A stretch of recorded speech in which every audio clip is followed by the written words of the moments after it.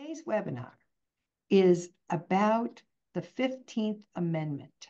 Um, we've called this in extending the right to vote, the 15th Amendment and its enduring impact on voting rights.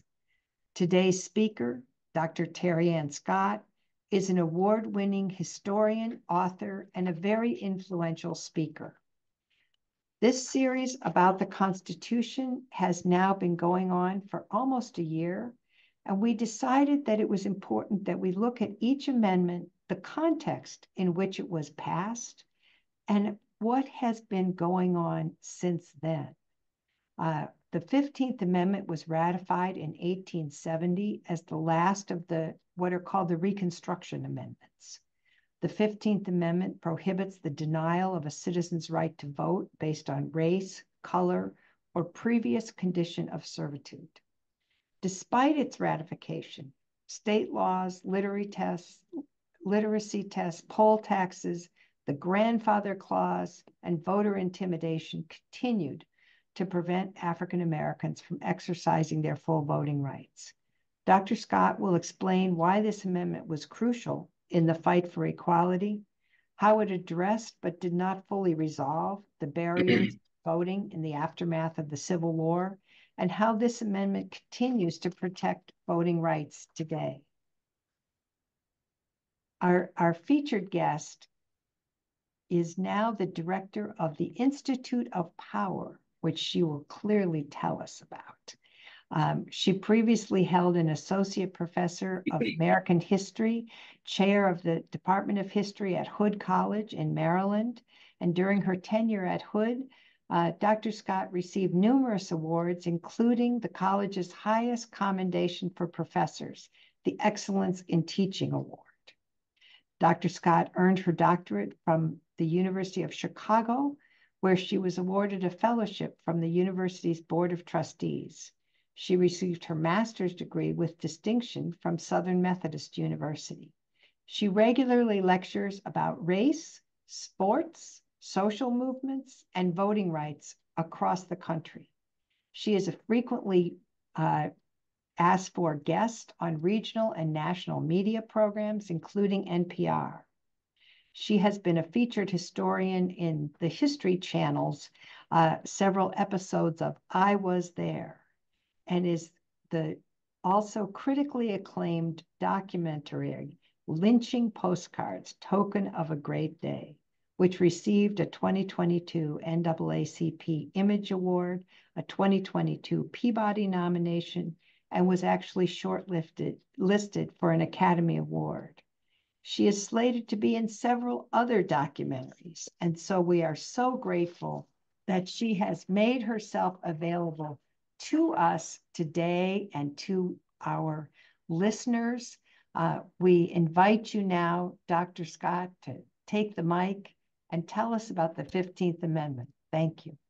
Wonderful. Thank you so much. Thank you for having me.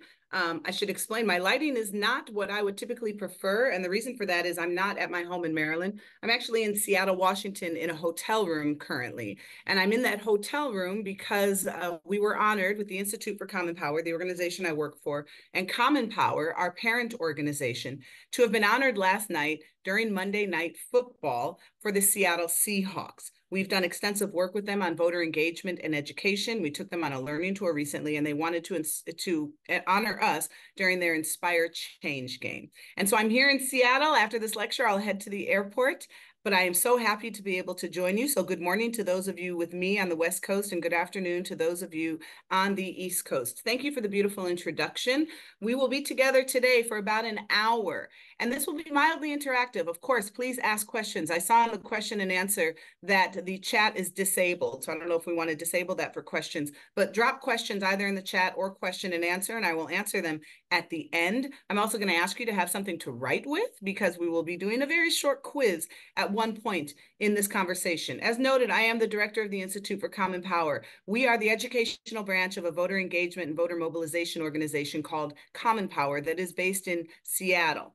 Um, we do work that helps pull back the curtain of history to demonstrate why it is so important for people to vote. So I encourage you to look at the work that we do, and I'll have a website at the end that you can go to. As noted, I'm also a former professor of African American history at Hood College. I will actually be teaching part time at the University of Maryland next semester as I continue my work full time for the Institute for Common Power. So we're going to talk about the 15th Amendment today. I thought it appropriate then to begin with the language from the 15th Amendment, because the 15th Amendment is about something that I have particular expertise in, and that's the history of African Americans in this country, which is really broadly the history of all of us in this country. And it reads as follows in section one The rights of citizens of the United States to vote shall not be denied or abridged by the United States or by any state on account of race, color, or previous condition of servitude. And so, what are the central questions that we're going to look at today? Well, they include the following Why was it necessary? How was the 15th Amendment achieved? What change did it create? And very specifically, what was the backlash to that change? In some ways, we are continuing to exist in a moment where there is backlash to the change. And so I will bring us to the modern era and demonstrate how the 15th Amendment is being used today and how the 15th Amendment is being avoided today to advance a particular notion of who should and should not be able to vote. As Ms. Campbell noted, there were three Reconstruction amendments. And so we begin then with the end of the Civil War, because as you see, following the war, there were about 4 million African Americans who were free, formerly enslaved enslaved, building life in the South, the vast majority of whom lived in the South. And then we engage in a period of what is called Reconstruction in this country, which lasts from about 1865 until 1877 and closes slightly earlier in some states. But that is the official end of 1877 and the official beginning of a backlash to the implementation of the 15th Amendment. But in the process, African Americans immediately following enslavement were beginning to build their lives in freedom finding family members as they could, establishing schools as they were excluded from schools for white students. And those Reconstruction amendments that were passed during that period include the 13th, the 14th, and the 15th Amendment.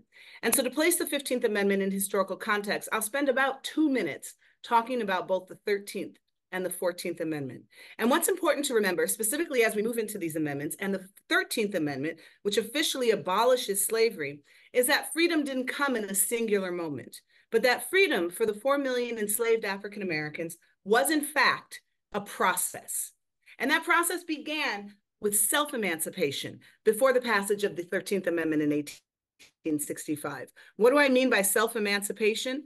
People who were enslaved on plantations and in smaller homes across the South and in certain portions of the portions of the Upper South, they ran away. They freed themselves. They engaged in what was very much a courageous endeavor to take freedom on the eve of the Civil War and throughout the Civil War. And if you assume that the Emancipation Proclamation ended slavery, you assume that in many ways because that's what we are taught. When we talk about Juneteenth every year, which is the holiday that commemorates African Americans, about 250,000 of them in the state of Texas, finding out that slavery had ended, people begin by saying the Emancipation Proclamation freed the slaves. It did not. The Emancipation Proclamation very specifically stated that by January 1st, 1863, those individuals who were enslaved in rebelling states, places that were rebelling against the Union, were free. So if you are a slave in Mississippi, what does that mean? Theoretically, you're, you're free. But do you go to the, your enslaver and say, Well, I'm free, you have to let me go? And they say, No problem. No, that is not how it played out. And so many times people took to the road and escaped. In states like where I live in Maryland, it was, excuse me, a union state that still had slavery. And they did not abolish slavery until November of 1864. What the Emancipation Proclamation did do successfully was allow for Black men to join the war effort and be in the armed forces. And so, following this 13th Amendment, then we have the beginning of what was called presidential reconstruction. Presidential reconstruction would be seen over by Andrew Johnson. Andrew Johnson makes the friends, including myself, of one of the worst presidents in American history. He was, in fact, an enslaver who was from Tennessee, who believed in the institution of slavery, but did not believe that the South should remove itself from the Union. And so that created quite this kind of disparity among those in the North who wanted things to go a particular way, and Andrew Johnson. He wanted to have wholesale understanding and, and reconciliation to those who had rebelled against the Union and say, you can come back into the Union, no problem, except for those who had a holding of $20,000 or more because he had a bit of a resentment against upper class individuals. He vetoed the Freedom, Freedmen's Bureau, which was an organization that was designed by Congress to help transition recently enslaved people into freedom by finding them jobs and work, by creating schools for them. And he was vehemently opposed to African American suffrage. So much so that Frederick Douglass, the great abolitionist from Maryland, went to see him at the White House and they talked about Black suffrage. And Johnson said, There's no way I will allow African Americans to vote. And then he had this almost feeling of being insulted by Douglass even asking because he said to him, I may own slaves, but I've never sold any, which is fascinating to me. He wanted some kind of some some commendation for that. Johnson goes on something, a swing around the world tour, where he goes to different states and tries to drum up support for his candidacy, for his um, administration. He casts himself as Jesus and says, I am being persecuted by Congress like Jesus because Jesus is, or Congress is in opposition to the work that I'm doing. I can tell you that it never works out well when somebody compares themselves to Jesus and say, I'm being persecuted in the same way that he is. During that election, Congress becomes a majority Republican. Now, I put an asterisk there because we never want to assume that Republicans and Democrats of the past are the same as Republicans in the current era. Political platforms are not static. They change and shift over time. So at this particular time, Republicans, and particularly radical Republicans, the more quote unquote militant branch of the Republican Party, took control of Congress and they engage in something called radical or congressional reconstruction. And the first way to make sure that the things that they implement went through was an actual military occupation of the South. These are Union soldiers entering the South to set up posts. And one of the things that they were able to pass under military or uh, congressional reconstruction was our third am- or second amendment of the three reconstruction amendments the 14th Amendment. 1868, and it dictates what we know today citizenship to all persons born or naturalized in the United States. It reversed the Dred Scott decision. The Dred Scott, horrific Supreme Court decision from 1950s that dictated that any Black person, whether free or enslaved, did not have a right to citizenship. And so the, the 14th Amendment would say that states could not deprive any person of life, liberty, or property without due process of law, nor deny any person equal protection of those laws. And it gave citizenship to all of the African Americans who had been denied citizenship under the Dred Scott decision. And here is a very, very short list of cases that have been able to, over the years, use the 14th Amendment to pass. Loving versus Virginia, for instance, that says you cannot have anti miscegenation laws that say people from different races can't marry. It has been used to push for marriage equality. It was used in Brown versus Board of Education, the very famous case that allowed for desegregation of public uh, education. And also under radical Reconstruction, with that military occupation of the South, the South is divided into five military districts, and you see them. And so Texas and Louisiana account for one. You see Virginia, North Carolina, you can see that on the map. And under the terms of this radical reconstruction, where Republicans had a secure majority in Congress, a veto, uh, um, uh, where they could veto, or I'm sorry, they could override any vetoes by Johnson, they required with this new reconstruction for states to do the following. They had to ratify the 14th Amendment. They had to write new state constitutions because the state constitutions that were written under presidential reconstruction included Black codes that looked a lot like slave codes that dictated that Black people could not vote, that they could not bear arms, that in some places they couldn't address or they couldn't dress above their quote unquote status. It was about keeping them in their place and returning them to a state that very clearly mimicked enslavement. They also, under radical reconstruction, renewed the Freedmen's Bureau. All of these things Johnson vetoed. And because they had such a strong majority in Congress, they were able to, able to override each of his vetoes. And they were able to pass something that serves as a precursor to the 15th Amendment. Oftentimes, what we assume, just like when we assume that the Emancipation Proclamation freed all enslaved people, we assume that the first time Black people, Black men particularly, because women still did not have the right to vote, Black men could vote in this country was with the 15th Amendment. That's not true. There's a different narrative, a different truth that's associated with that 15th Amendment. Black men had the right to vote with the first Reconstruction Act, three years before the 15th Amendment was passed. That is so instrumental to the passing of the 15th Amendment that I can very factually say we wouldn't have the 15th Amendment at that time unless Black men had the right to vote. And I will expand on that in just a moment. And so Congress passes the first Reconstruction Act. That act stated that states must allow Black male suffrage and works as this precursor to the 15th Amendment. What happens? Black men vote in mass. In places like Mississippi, the number of registered African American men to vote exceeded 96%. 96% of Black men registered to vote in the state of Mississippi. That 96% by 1964 would drop to 5.7%. How do we go from 96% to 5.7% in Mississippi? How do we go from similar percentages in other Southern states at high percentage of Black registered voters to similarly low percentages of Black registered voters during Reconstruction versus the 1960s? That's part of the path that we'll take today. But after the passage of the first Reconstruction Act in 1867, look what happens in states after state. South Carolina has a higher majority because they had a larger Black population. But by the South Carolina Convention in 1868, 76 of the Black elected delegates, or 76 of the delegates, were Black. Two thirds of them were formerly enslaved. They outnumbered the number of white elected delegates. There were only 48. You see this in state after state after state. Places like the state of Alabama, a place that I visit very frequently with the Institute for Common Power, elected a man named Representative named James T. Rapier. He lived in Montgomery. He was instrumental in passing at the time, along with other Black legislators, the 1875 Civil Rights Act. The 1875 Civil Rights Act looked a lot like the 1964 Civil Rights Act. He said, when he helped pass this act, I can't even go from my home in Montgomery to Washington, D.C. to do the duties that I have been charged to do because I can't find a restaurant to serve me. I can't find a hotel to sleep in. And so the 1875 Civil Rights Act said that you cannot discriminate in places of public accommodation.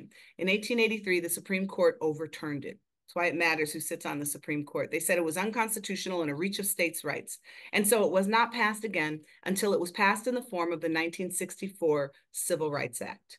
And so you had a large number of Black politicians, Black elected officials, because of the 1867 First Reconstruction Act passed during congressional reconstruction. Black people would heavily represent those who would secure new laws and amendments that establish new freedoms. We often don't think about how instrumental African Americans were to the establishment of these amendments, particularly the 15th Amendment in state after state in the North. Sometimes we like to fancy the South to be something that is wholly different from the North, that they were opposed to Black advancement and Black suffrage, and the North was in sync with it. That's not true. In state after state, Northern voters rejected a bill for Black suffrage before the 15th Amendment. In Michigan, in Ohio, in Kansas, in Missouri, in New York, by vast majorities, they said, we don't want Black suffrage. Places like Minnesota and Iowa actually voted for it but it is that rejection of the ability for Black people to vote, of the desire among voters in the North and in the South at the time, because this is before the first Reconstruction Act. It is that objection to Black suffrage that pushed Congress to pass that first Reconstruction Act to allow for Black suffrage. Representative Thaddeus Stevens from Pennsylvania said this about Black suffrage in the South If it be just, it should not be denied. If it be necessary, it should be adopted. And if it be punishment to traitors, they deserve it. So, where does that take us?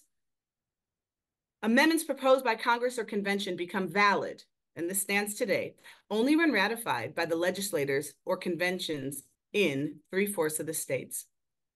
So what does that mean? By this time then, by the time the 15th Amendment is pushed for ratification, by the time it is ratified in 1870, it was Black men and their high number of registra registration that became instrumental to the passage and the securing of the 15th Amendment. It is important to remember and I'm going to read this because of that importance and because this is probably very new to most of you. It is important to remember that the large number of Black elected officials and Black voters in state offices means that Black men were instrumental in securing the 15th Amendment. We didn't give the 15th Amendment to Black men, Black men gave the 15th Amendment to us. So, what did that 15th Amendment read? The right of citizens of the United States to vote shall not be denied or abridged on account of race, color, or previous condition of servitude. It's ratified in 1870, and that, together with the 1867 First Reconstruction Act, ensured that Reconstruction in America became a period of high success among Blacks for political power. Black people held public office during Reconstruction at approximately a number of 2,000, an unprecedented number and percentage of Black elected officials. They were justices of the peace. They were congressmen, sheriffs. In the early scholarship on Reconstruction, historians often characterized Reconstruction as a failure. But Dr. W.E.B. Du Bois, in his famous work, Black Reconstruction, which was published, I believe, in 1935, said Black Reconstruction in the South was not a failure, it was a success. It was a success because Black men could vote and they voted in mass. It was a success because of the First Reconstruction Act and the 15th Amendment, and they had over 2,000 elected Black officials. Now, for a minute, think about then how white former enslavers and others who benefited from the system of slavery who were not Black felt about this high level of Black political power. You see a phrase there that reads Negro domination. That's not my phrase. That is a phrase that you would hear regularly during the Reconstruction period from white Southerners who said, We are now facing Negro domination or Negro rule. The idea of a high level of Black political power grated on the nerves of these individuals. And the idea then was how do we prevent this from happening? How do we undermine the 15th Amendment to make sure that we don't have such a high level of Black political power? The phrase Negro domination and Negro rule is something that we will continue to hear well into the modern civil rights movement of the 1950s and 1960s. We don't want Negro domination. You see it in newspapers and interviews and speeches. Black freedom expressions, community building, and voting were hallmarks of Reconstruction. But there was another hallmark of Reconstruction, and that was the reestablishment of white supremacy and political and social control. No more Negro rule, no more Negro domination. This was an article that was posted in papers across North Carolina that was part of a white supremacy campaign to push all Black politicians out of office. It was one that sought to demonize African American men, to show them, and you see on this left side of your screen, grabbing white women. There were articles that accompanied this that characterized Black pol political leaders as rapists, as brutes. They wanted to undermine Black political power as much as possible and this was handed to Southerners with the election of 1876. The election of 1876 is what officially ends Reconstruction and allows for a space to where the 15th Amendment could be undermined, could be skirted. There were two candidates, Rutherford B. Hayes and Samuel Tilden. Neither had the requisite 185 electoral college votes needed to win. There were 20 disputed votes because of voter fraud of primarily in places like Florida, um, white voters stuffing ballots, trying to intimidate Black voters from being able to vote. President Ulysses S. Grant actually at the time said that he lost a couple of states because of white um, voter intimidation of Black voters. And so a compromise ensues because of this. The South says you can have things happening with my, uh, one second. Okay, I can go to the next slide now. You can have your candidate, Rutherford B. Hayes, but if we allow him to be the one who goes into office, we're going to need four things. And the South says this, these are the terms of the end of Reconstruction or what are called what is called the Compromise of 1877. We want the appointment of at least one Southerner to Hayes's cabinet. We want federal aid for railroads in the South because if you have money for railroads and the expansion of railroads, you can connect regional economies. You can make sure that the economy of a particular region flourishes. We want the removal, those, those Union troops who were there establishing order to Reconstruction. The South said, we want them gone. We want the removal of troops from the South, and we want you to leave race relations to us. No more Negro rule, no more Negro domination. This is a sign in Florida of a Black person being lynched and, and hanged in effigy. It says this N word voted. And this is a scene on a bridge that will take us in just a bit to closer to the end of our lecture in Selma, Alabama, when Black people were marching to secure the right to vote and were beaten by police officers and local militia. Time to take that quiz I mentioned to you. Here's what I'd like you to do. Take out a piece of paper, or you can take your phone and put notes. You're going to answer a number of questions, and I'm going to open up a timer on my phone. You only have 44 seconds to do that. So I'm going to give you just a couple of minutes to do this. Okay, are you ready? 44 seconds to answer all of the questions. And if you get any of them wrong, you fail. Your time begins now.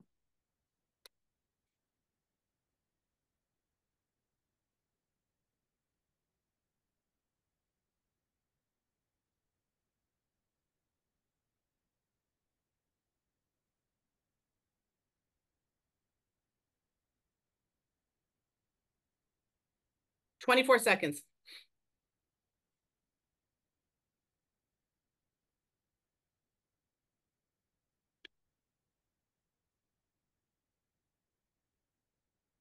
Ten seconds.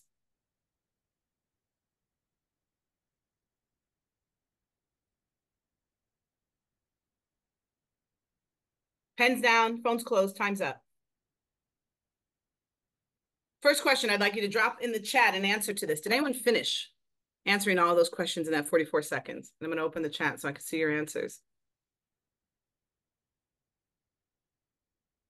No, nope, not even close. Thank you for your honesty. I have three more questions for you. Were you afraid for your life while you were taking this test?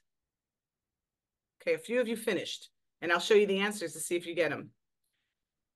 Were you afraid for, with, for your life when taking this test? Probably not. Did you worry you might be imprisoned or shot? I think I can assuredly say no, you didn't. Were you concerned that you would be fired from your job for taking this test? No.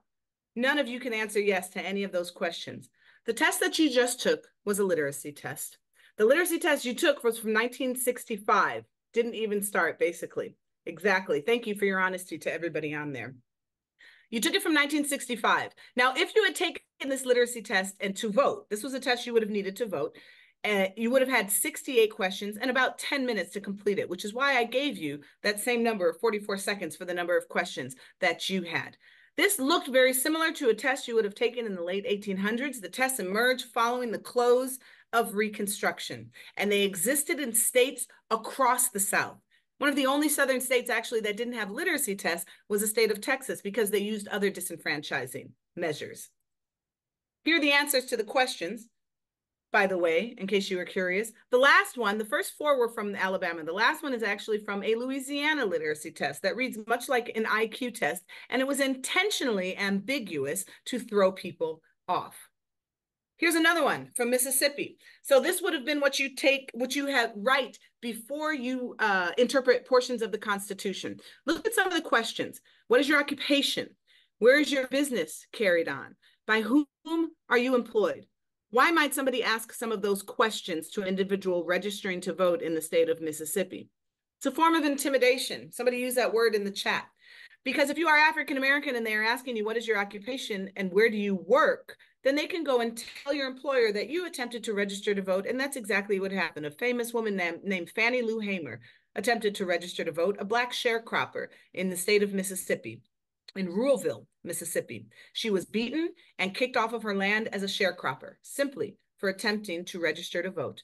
No more Negro domination. If you had walked into a registrar's office in the state of Mississippi, you would have seen this sign on the wall. After 10 days, applicants' names and addresses are published for two consecutive weeks in the newspaper. Therefore, everybody will know that you attempted to vote. These are facially neutral laws. The fact that, and I will show you how the Supreme Court had a hand in this, the fact that literacy tests were a legal thing to give to people were facially neutral. What does that mean? Facially neutral laws, and some of you may be attorneys out there, were laws that in the language of the law, it's non-discriminatory, but in the application and the outcome of the law, it's discriminatory. And so, in the language of the law, everybody has to take a literacy test is not discriminatory. But in the outcome and the application of taking a literacy test, that's discriminatory. And these facially neutral laws exist in many states across the country today, which is where we'll end the our presentation. Not quite yet. I'm going to go for probably about another 15 minutes before we get to the end of that. It was at the registrar's discretion. And so if you're a white applicant, the registrar, who was a white male in southern states, would often give assistance to, to white folks. To black folks, they would not. And they may ask additional questions. I'm going to play a clip from a movie named Selma. It's one minute in length. Hopefully you'll be able to hear it. She represents a real person from Selma, Alabama in 1965 who is attempting to register to vote. And she just took the literacy test that you took. You work for Mr. Dunn down at the rest home, ain't that right? Yes, sir. Wonder what old Dunn will say when I tell him one of his gals down here stirring a fuss. I ain't stirring no fuss. I'm just here trying to register to vote.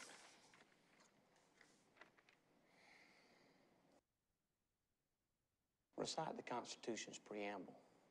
You know what a preamble is? We, the people of the United States, in order to form a more perfect union. How many county judges in Alabama? 67.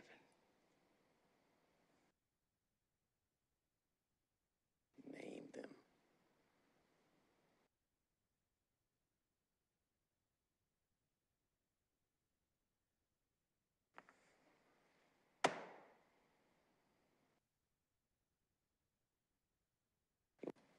Wonder what old at the registrar's discretion. And so you see, she she was able to say how many judges were in Alabama. She could not name them. That was not part of the requirement. Facially neutral, non-discriminatory in the language of the law, discriminatory in the application. A voting report that came out by the United States Commission on Civil Rights in 1965, just before the Voting Rights Act of 1965 was passed, noted this, that in places like Mississippi, counties are giving quote unquote Negroes more difficult constitutional sections to interpret than whites, and they're affording assistance, excuse me, to white applicants, but not to the Negroes. So what did it look like? For example, a white applicant, and this comes directly out of the government report, a white applicant might be asked to copy out and interpret the following. Article 12, Section 240 of the Constitution. All elections are by the people, shall be by ballot. All elections by the people shall be by ballots. Very easy to write out and interpret. A Black applicant might be asked to copy and interpret that. That's a facially neutral law. Everybody has to copy out and write something, but Black people are asked to write something different to stop any form of Black political power and Black people being able to register to vote. They're facially neutral. Or, and this next part seems as though I am making it up because it is so asinine and yet a part of our history. And this is why I always tell my students, this is what people have gone through for us to have the right to vote. We must vote in every election. The registrar might ask a black person to guess how many jelly bar beans are in a jar of jelly, or uh, how many jelly beans are in a jar, how many windows are on the White House, or how many bubbles are on a bar of soap. There was no intention to allow black people to vote after Reconstruction in the South. What were additional obstacles to voting? This is an actual card that was left by the Ku Klux Klan, given to a family after they tried to take the literacy test in Jefferson County, Mississippi in 1963. And so this was not just the Klan who was a part of this. Sometimes it's easy to say, oh, this was just the Klan who was doing this. It was police who were stopping people from registering to vote. It was general citizens who were beating people and intimidating people. It was local government who served as the registrars and hired the registrars to stop people from registering to vote. This was coming from every aspect of society. What you see here on the left is Reverend C.T. Vivian. What you don't see in that picture is he has about 100 teachers from Selma, Alabama, who are attempting to register to vote at the Dallas County Courthouse there in Selma. And that is a sheriff, Sheriff Jim Clark, who is standing there not allowing teachers to register to vote. After this picture was taken, Sheriff Jim Clark punched Reverend C.T. Vivian in the face, knocked him to the ground, and pushed all of the teachers away and arrested many of them to stop them from registering to vote. This is a very short view of people who have died or who were beaten or put in prison for attempting to register people to vote. What you see on this image is that not everybody is Black. Because once people engaged in the work of trying to secure civil rights, human rights for Black people in the South, it didn't matter what color you were, you were subject to being killed. Lamar Smith, a Black voting advocate, was murdered on August 13th in 1955 on the courthouse lawn one day in Mississippi. The sheriff witnessed it, witnessed him being murdered, and there were no indictments. Jack Turner was lynched in Butler, Alabama in 1882 for organizing Black voters in Choctaw County. And we have to understand that there is no Southern exceptionalism to this. Voting restrictions required the sanctioning of the federal government to continue. What do I mean by that? In a case called Williams versus Mississippi, there was a case that challenged the 1890 new Mississippi Constitution. So the new Mississippi Constitution, trying to circumvent the 15th Amendment, said you need to do the following things to be able to vote. You need to live in the state for six years, pay a $2 poll tax, and take a literacy test. Okay, Everybody has to do this, facially neutral. Henry Williams was a black man who was convicted of murder by an all-white jury. And he said the fact that my jury was all white made it not made it discriminatory and pushed against my 14th Amendment rights. Well, what does voting have to do with his jury being all white? If you know, put that in the chat. What does voting have to do with his jury being all white? I'm looking at the chat right now and I just noticed that uh, Malcolm, thank you for sharing that. That's incredible that Fannie Lou Hamer was a friend of yours. She is truly an American hero. And thank you for the work that you did in Mississippi. What does Henry Williams' jury have to do with being white? If you are saying that it is because the jury rolls, that's right. All right, Penelope and Eve Aaron. The juries are picked from the voting rolls. If you can't register to vote, and if the voting rolls are all white, then the jury's going to be all white. That's right. Do you know what the Supreme Court said? No, we don't buy that.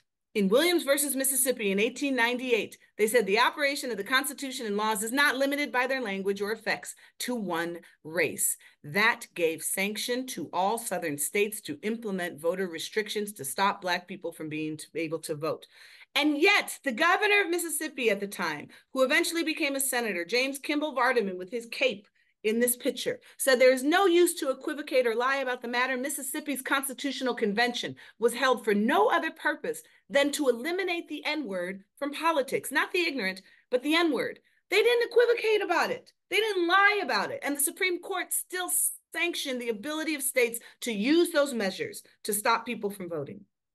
1868, Black folks in Mississippi, men registered at 96%, white men at 55% it drops down to 5.7% by 1892 and 6.7% by 1964. You have similar numbers across the South. This is just Louisiana and Alabama. By 1965 in Alabama, there were several counties that didn't have a single Black person registered to vote, including Lowndes County, which was 80% Black, and not one Black person was registered to vote. Voter restrictions were part of something called a Jim Crow regime. Jim Crow, we see the whites only, colored only signs in bathrooms and water fountains, but Jim Crow included all aspects of private and public life. It was a way to codify white supremacy. And one of the things that was at the core of it was stymieing any kind of Black political expression and power. And so, just as this was a part of a Jim Crow regime, dismantling these kinds of voter restrictions required the persistence of a civil rights movement, people who had worked from the very beginning across racial boundaries to dismantle these restrictions. And that would come to head ahead in Selma, Alabama. We're going to go for about five more minutes and then we'll start with um, questions and answers on Bloody Sunday, March 7th. Now, I don't want you to assume that this was the first moment that Black people pushed against the boundaries of voter restrictions. This was a culmination what happened on March 7th, 1965, on that bridge, and what it led to, that is something that people had organized for for decades. There were so many lawsuits that preceded this, so many protests in the years previous to this. But this was the pivotal moment. Selma was the moment, the watershed moment, when we were able to secure the 1965 Voting Rights Act and create change so that what was supposed to exist in the 15th Amendment was theoretically enforced. The original idea was by James Bevel, a civil rights activist, who said after a man, a 26 year old man named Jimmie Lee Jackson, was killed by police in uh, he was shot by police in Marion, Alabama, and died about nine days later in uh, Selma, Alabama, at a hospital because he was engaging in a civil rights protest, protecting his mother and his grandfather from being beaten by a police officer. Stepped in front of his mother, and the police officer shot him in his stomach. And civil rights activists were so enraged by this that they said we should deliver his body to the state capitol in Montgomery, 54 miles away from Selma, and walk it there and give it to George Wallace, the governor, on the steps and say, This has been the cost of us pushing for freedoms. Cooler heads prevailed, and they said, We will do a march that does not take Jimmie Lee Jackson with, with us, but it commemorates, it honors, it examines, it allows people to see bear the cost of this work. And so, led by John Lewis and Hosea Williams and so many other, one, Mr. Charles Mauldin, who I have the honor of traveling with regularly to teach people about this history. He was sixth in line and only 17 years old. Ms. Joanne Bland, I had the honor to work with her, who lives in Selma and was 11 years old when she was on that bridge and had already been arrested 13 times by the time she was 11 for engaging in civil rights activity. 600 people, including Mr. Charles Mauldin and John Lewis and Hosea Williams and Joanne Bland, put their foot to pavement and attempted to walk from Selma to Montgomery. They didn't get much more than a mile before police officers told these peaceful protesters to turn around and go back to their church or their homes. And before they could make a move, they were beaten by police officers and by citizens on horses, and they were gassed. But this happened right in front of television cameras. Civil rights activity made the news at this point in the civil rights movement, and it was blast all over newspapers from across the country. And so it took in total three attempts to be able to do this march. And finally, they had President Johnson who got involved and got on the television March 11th and said it ought to be possible for Black people to vote. And he invoked the words of the march of the uh, civil rights movement at the end of his speech. And he said, We shall overcome. And he said, I'm going to support a Voting Rights Act to ensure that all citizens have the right to vote. And so finally, a third attempt, a march from Selma to Montgomery that started with 600 people, ended with 25,000 people on March 25th, right in front of that state capitol where George Wallace stayed inside and did not come outside to talk to people, and Dr. King delivering a speech about the work that they were doing. And it led then, August 6, 1965, to the passage of the Voting Rights Act. The Voting Rights Act outlawed, out, outlawed those literacy tests. It allowed federal examiners to oversee elections. And by the end of the year, there were 250,000 new Black voters. In the state of Mississippi, for instance, remember it was 6.7% just a few years before? By 1965, it was 66.5% of Black people registered to vote in the state of Mississippi. Now, in the last few minutes, before we open it up for questions, I want to point to this. And remember this section. Section 5 of the 19 Voting Rights, 1965 Voting Rights Act, which has since been gutted, requires the Department of Justice to provide pre-clearance for changes to voting processes to avoid discrimination. So if you are a place in the country, not just southern states, this applies to actually some places, and you see this on my notes, on my slides in New York and California, and you have a history of voter discrimination, before you make any changes, before you say, I want a voter ID law, I want to cut early voting, I want to change our ballot, you had to get approval from the Department of Justice to make sure that it doesn't discriminate against people like you had done in this particular area in the past. But a 2013 Supreme Court ruling said that you don't need to do so. And it's making voter suppression today in our modern day, December 19th, 2023, possible. It was a case that came out of Shelby County, Alabama in 2013. And with a split Supreme Court decision, five to four, those five justices said, you don't need to uh, to do this anymore. You don't you don't need to get pre-clearance. States can now make changes to voting requirements without pre-clearance. And there's an incredible dissent by Justice Ruth Bader Ginsburg, where she equates this to throwing an umbrella away in the middle of a storm. And she was incensed by this ruling. What happened? Within 24 hours of the ruling, the state of Texas implemented a voter ID law that disproportionately impacts Latinx, Black, and poor people. The state of Texas, since, has one drop box per county. That includes Harris County a highly minority county that is the biggest county in the state. It is a county that is bigger than some states in this country. One drop box. That means people have to drive through Houston traffic, sometimes 50 something miles to drop off a ballot. That's it.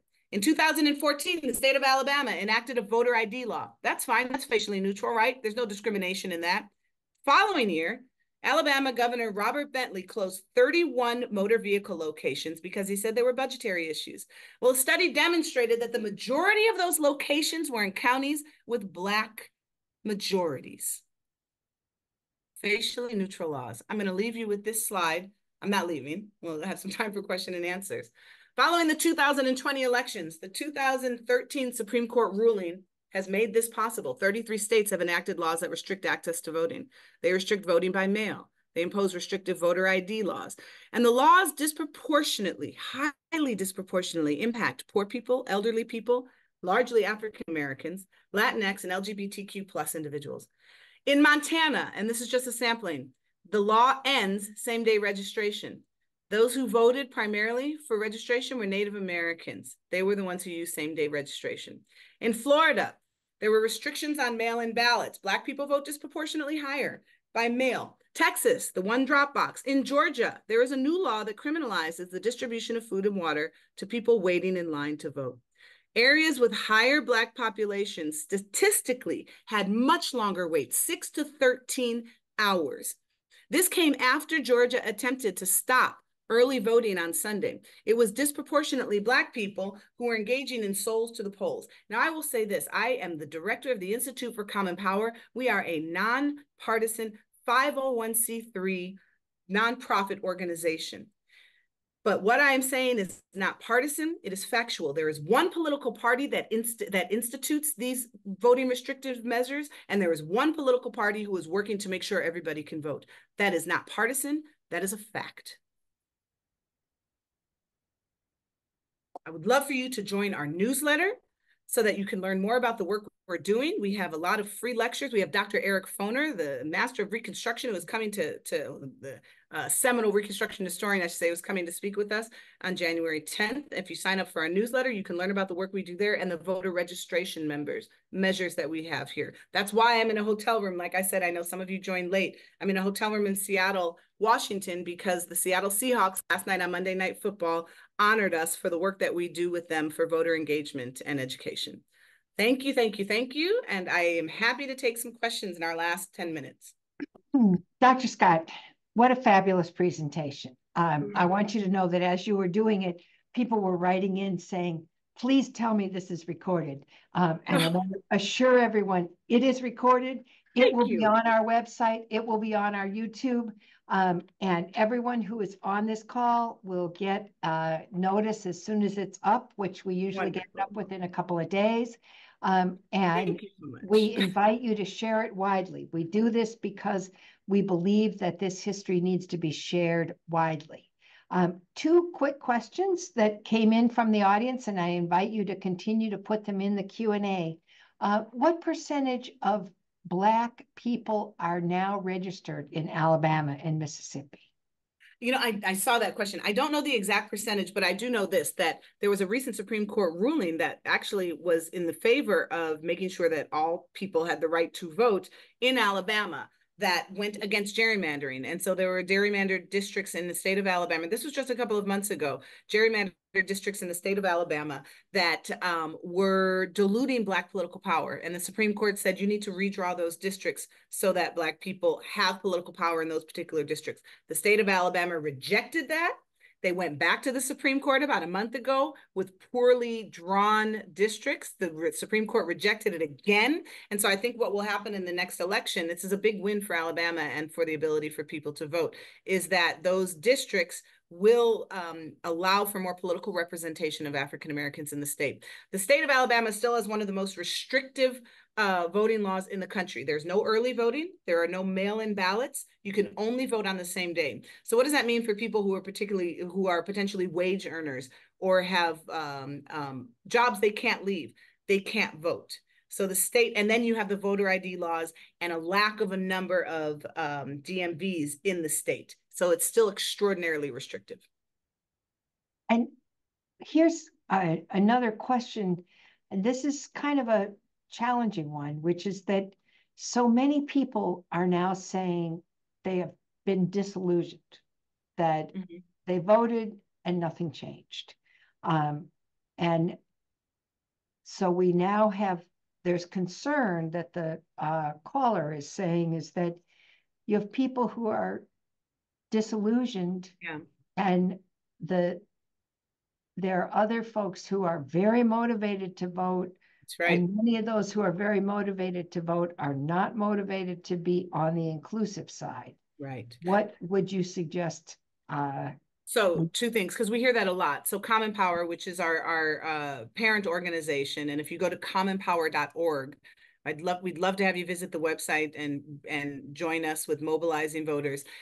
We deal with that, and so number one, not voting is a vote for the other candidate. First and foremost, if you decide not to vote. Number two, when people say that their vote doesn't matter, what we often do when we knock on doors and talk to voters is point to election after election where uh, people won or lost by a small margin.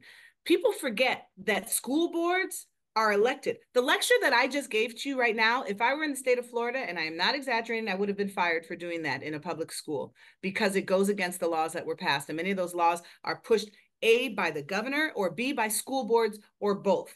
We have the power to um, um, elect different officials. School boards, and you can look this up, are often elected by 10 or five or one person makes the difference. And so your vote does matter. Sheriff elections. We talk about an election that we were involved in in Virginia where the candidate won by one vote.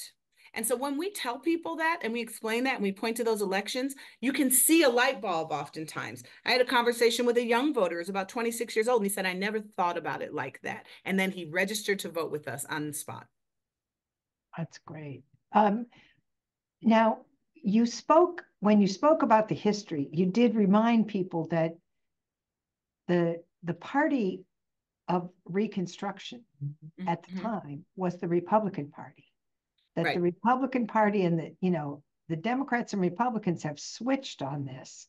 They, Um, and, right. It's the Republicans who are now instituting those voter restriction measures. Right. And you see that, but the black congressmen who actually were engaged in the 15th Amendment, that story is hardly ever told. Do you have Right. a little bit of, you know, give people a little bit so that people can leave from this and say, let me tell you about Hiram Revels or, you know. Uh, Absolutely. So one of the a couple of places, and I'm actually going to tell you guys the name of a book that you'll love on this. It's not. It's hardly ever told. That's exactly right. The way that you just characterized it. Um, and so you can get some of that in some of Eric Foner's work. But there is a book that is um, by William Gillette. It was published in 1965, and it is excellent. It has been republished many times since then, including in, in 2019. William Gillette. Um, I think it's called something The Right to Vote or something. I'm looking for it. But it breaks down a lot of those early statistics so that you can see exactly how it was that so many northern states were opposed to voting and how African Americans um, were the ones voting. I've also done a lot of primary source research. So I've worked not only as a historian in the academy, but as a public historian. And so I did a lot of work around Texas. My book, uh, Lynching and Leisure, is about Texas. And I've gone through the Reconstruction records. And I have at my house the voting registration polls of 1867 that shows all the black men who were registering to vote at the time. And also I should note, and Elsa Barkley Brown, who is a historian at the University of Maryland, does great work on this. Black women were involved in voting too. They couldn't vote, but they accompanied men to the polls. They sat in at the constitutional conventions. They were not just sitting in, they were vocally a part of those uh, state conventions. And so Black women were engaged in the political process, even in the absence of having the ability to cast a vote. And one final question um, is one of our questioners is the Bill of Rights says that all men are created equal. And yet that we still have discriminatory laws and why, I mean, discriminatory activity. Why is it that the constitutional protections from the Bill of Rights have not resolved this? Because there continue to be forces in opposition to making sure that we have an inclusive democracy. And that's the truth. And so the work that we do at the Institute for Common Power, Common Power, the work that I know some of you who are on this uh, call have done and continue to do is the work to not rest and say, oh, everybody has those rights, but to be the louder force against those who oppose an inclusive democracy. I look at the past. History I often call as a primer. It shows us what we can do. And if people who are on that Edmund Pettus Bridge could have the bravery to walk across that bridge in protest of being denied the right to vote, what we face today is nothing. We've got this. If they can do that, then we can continue to push to make sure, because that's what I strive for, and that's what we strive for, is to make sure that we have an inclusive democracy with equity. Dr. Scott, you are inspiring. And now you understand why we talked about informed patriotism. Um, you know, telling these stories and telling them uh, with the full force of truth is the mission of the Capitol Historical Society on all fronts. And we really appreciate your time and your talent and getting up at the crack of dawn in Seattle and No you know join, joining us from a hotel room. Congratulations to the Seattle Seahawks for honoring you and for Thank being you. involved in getting people out to vote. Thank Um, you. we thank appreciate that. everyone who's been with us. Um, we wish you all a wonderful holiday season. We remind you, as we always do, we call this our NPR moment. Uh, this is only possible because of your gifts and your support. Uh, Dr. Scott gifted us her time, uh, an amazing treasure. And so we invite you all to continue your membership and your engagement. Share this opportunity with your friends and neighbors, and we are honored to have you with us. Thank, you very Thank much. me. It's been an honor to be here. I really appreciate it. Thank you to everyone who joined us. All right, be well. Thank Be you well. all. Bye.